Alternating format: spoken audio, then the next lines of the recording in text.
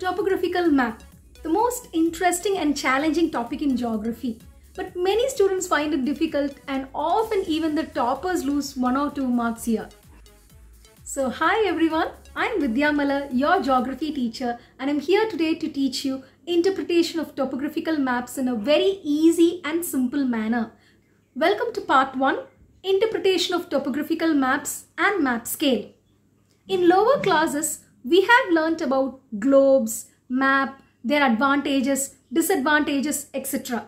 But do you know who make these maps and what all they do to make these maps? Just like we call a person who takes photo as photographer and the art of taking photos as photography, a person who makes map or draws map is called cartographer and the art of drawing or designing maps is called cartography.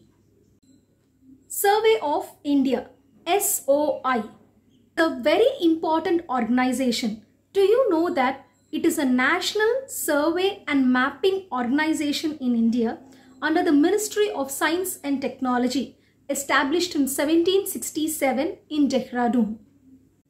It includes various operations beginning with surveying the land to the final stage of printing and distributing the maps based on its demand. There are many types of maps and I think you're familiar with political maps and physical maps. Political maps shows you the political boundaries between states, countries, district, etc. Whereas physical maps, they show you physical features such as rivers, streams, plateaus, plains, etc.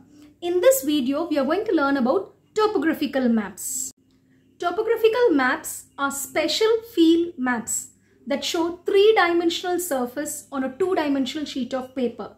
I think you all know paper has two dimension, length and breadth. In topographical maps, we can see the third dimension, which is the height by using contour lines.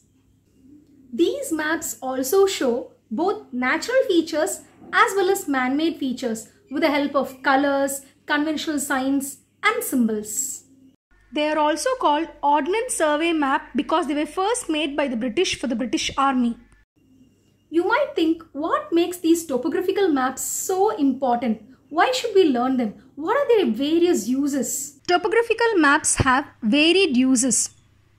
The uses of topographical maps are they are useful for development of roads, railway line, for planning and executing military operations, for setting up of industries, developing tourism, and even for afforestation and flood control measures. The next topic is map scale or scale of the map. The ratio between the distance measured on the map to the corresponding distance on the surface connecting two points is called map scale. Now you need to understand two things. There is something called map distance and ground distance. Map distance means the distance between two places in the map. Ground distance means the distance between the same two places in the actual ground. Say for example the distance between place A and place B in the map is 1 centimeter. That is called map distance. But in the actual ground, what is the distance between them when you walk from place A to place B? That is called ground distance. In order to find this, we need to know what is map scale. We need to learn to read the map scale. Types of map scale or what are the ways of representing a scale in a map? There are three major types. Let's learn them one by one. Number one, verbal scale. It is a way of representing a map scale by a statement. Just a statement will be written in the map. For example, 1 centimeter to 1 kilometer. It means the map distance is 1 centimeter and the ground distance is 1 kilometer. That is 1 centimeter on the map is equal to 1 kilometer on the ground. Number 2 is graphical scale. It is also called as linear scale it is represented by means of a line. So a linear scale is a line divided into equal parts called primary divisions. The first primary division is further divided into smaller parts called secondary divisions. This scale is very useful for calculating distance between two places. Representative fraction. It is one of the most important board exam question. It is the ratio between distance on the map and the corresponding distance on the earth's surface. Yes, as the word suggests, it is represented as a fraction. The numerator indicates the distance on the map, while the denominator indicates the distance on the actual ground.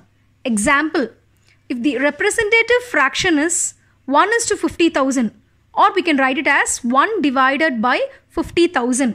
So here the numerator 1, this is the map distance and the denominator 50,000 is the ground distance. So here 1 centimeter on the map is equal to 50,000 centimeter on the ground.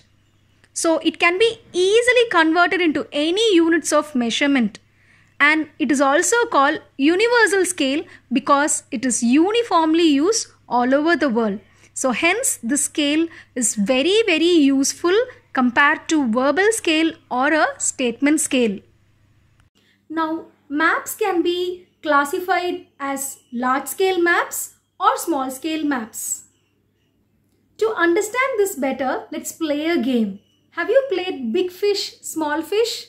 When I say big fish, you have to show your hand like this, small. When I say small fish, you have to show like this, big. So this is small fish, this is big fish.